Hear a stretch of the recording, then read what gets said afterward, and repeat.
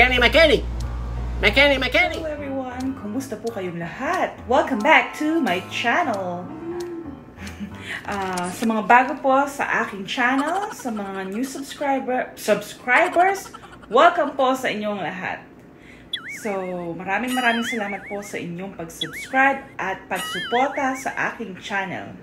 So, ano nga ba ang gagawin natin ngayon, guys? Magluluto tayo ng napakasarap na adobo. Alam ko, halos sa Pilipinas, halos marunong magluto ng adobo. Pero ang tanong, masarap ba? So, hindi lahat ng nagluluto ng adobo is... Hindi lahat ng marunong magluto ng adobo is masarap magluto ng adobo. So, ngayon, tuturuan ko kayo, guys, kung paano magluto ng napakasarap na adobo. Ah, bakit? Baka ako lang nagsasabi palang masarap, yung iba pala hindi pala umaagri na masarap yung adobo ko. Pero hindi. Um, masarap talaga yung adobo ko. Kasi, um, talagang pinerfect ko to. Itong recipe na to, pinerfect ko siya. Kaya talagang sigurado ako masarap. Kasi, pati mga pihikang bata na hindi ko makain ng adobo, napapakain sila kapag natikman nila ang adobo. Ginagawa mo. At saka, Ginagawa may reviews na yan. Tested na yan sa, from friends na talagang ah, masarap ang aking adobo. Kaya special request yan, guys. Yung adobo, kung bakit ako magluto ng adobo ngayon is because special request na yan. Kasi sa linggo, mag attend kami ng birthday at isa sa ni-request is yung adobo kong napakasarap. So, yon So, pang birthday to, guys. So, happy birthday pala kay pare kong Gino tsaka kay Bentot. Advance happy birthday. So, iluluto ko na ang inyong handa na napakasarap na adobo.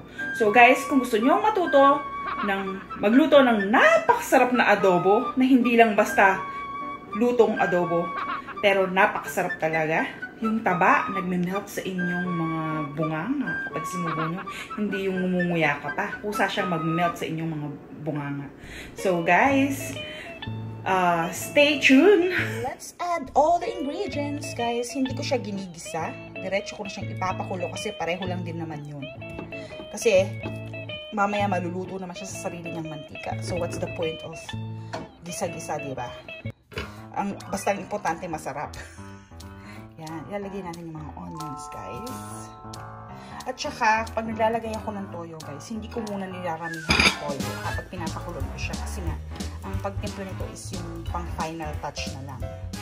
Ah, kung gusto nyo ng ma ah, maalat-alat, ganyan. Kasi kapag nilagyan na natin siya ng maraming toyo, at the end, baka mapaalat. Hindi nyo naman makain yung inyong adobo. Diba? Yan. Paminta. Yan. And of course, black pepper. Honey, I need you, please. You need me. Yeah. So, could you open the soy sauce for me? Ayan, guys. Black pepper corn. Yan. Ito yung mga mahirap ilagan. Ma- Makakagat mo siya mamaya. Yan. Here. Tapos, guys, lalagyan na natin siya ng yan. Iskabit na natin lahat ng bawang, paminta. Ayan, ilalagay na natin yung toyo, guys. Honey water, please. Hindi mo natin siya. Here, put it here. Lalo hindi mo natin siya. Just, lalagyan mo natin siya ng, hindi mo natin siya aalatan, guys. Siguro mga, three, mga half of soy sauce muna. Half cup of soy sauce or three-fourth cup of soy sauce. Yan. Kailangan, ang adobo is, kailangan more until it disappear. You know this is not on, right? I know! I'm just, Okay. uh, now I'm gonna turn it on. Oh, so excited. That's why I don't like sometimes Mark in the kitchen. Because he gets so, so much involvement. he thinks that I don't know that I'm what I'm doing. More! So guys, yan, kailangan palubugin natin siya hanggang yung tubig ma-absorb nung ano, ng, kapag, kapag yung tubig, ah, lumubog na, I mean, kapag yung tubig, ano na, naiga na, tapos hindi pa malalambot yung baboy, just continue adding water hanggang sa pakuluin ng pakuluin ng pakuluin hanggang lumambot hanggang ma-absorb ng pork yung tubig. Okay, hanggang magmantika na siya. Huwag nyo titigilang ah, pakuluan hanggat hindi pa siya. That's good for now. Ay, sinigang. Yan guys. Maraming tubig pero mamaya i-absorb ng adobo lahat yan. Ng, ng, ng meat lahat yan. So, parang sinigang, di ba? Pero hindi. Ah, mamaya guys, makikita ninyo. A-absorb na ng meat yung tubig or ng mag-evaporate na yung tubig. So, just wait and see. So, papakulo natin to guys mga 45 minutes siguro to 1 hour. We'll be right back. A few moments later. Adobo guys, after an hour ng pagpapakulo. Actually, malambot na siya. Nagme-melt na yung taba niya. Pero, hindi pa dyan nagtatapos. Kailangan nating pasipsipin yung ah, sabaw. Kailangan, ano, matuyo siya ng konti. Kasi mas masarap yung medyo ah, makunat-kunat na nagme-melt yung taba. Tapos, ano, ah, kailangan mag-evaporate muna yung tubig. So, para ma-abs- ma-absorb ng karne yung flavor talaga. So, maybe after 15 to 20 minutes, guys, ready na to. A few moments later. Ito na ang ating adobo, guys. Malapit na siyang um, matuyo. So, ayan yung gusto natin. Maliligo na siya sa sarili niyang mantika. Tapos, kapag nagstay pa siya ng mga 5 to 10 minutes, um, medyo kukunat-kunat na yung balat, yung taba niya. So, lalagyan na natin ngayon ng lemon, guys. So, nakita nyo ba, nag-disappear na yung mga malalaking sibuyas kasi natunaw na siya.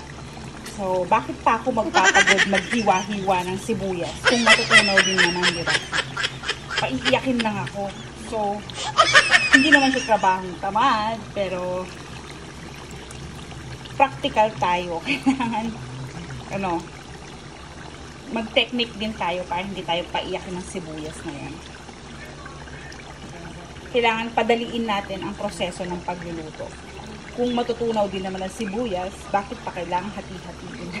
So, yan. Wala na siya, guys. Wala na yung sibuyas. Ayun na siya. Tunaw na siya. Ayan yung masarap kasi yung flavor niya. Ang dami kong nilagay ng sibuyas dito, guys. Apat. Para malasang malasa at masarap. So, ayan. Natutunaw na yung mga taba-taba. Ayan yung gusto natin ma-achieve. Pero gusto pa natin siyang medyo pako natin. So, iwan muna natin siya ng mga siguro 10 minutes pa, guys. Para lalong sumarap.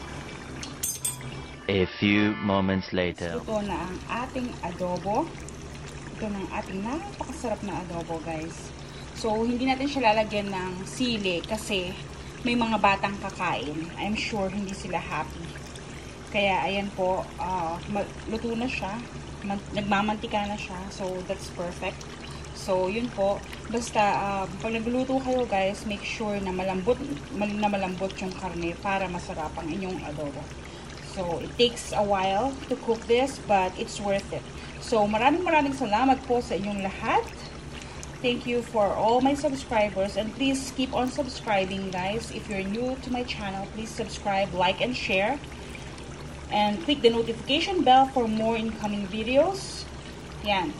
Maraming maraming salamat po sa inyong lahat and have a blessed day. Bye!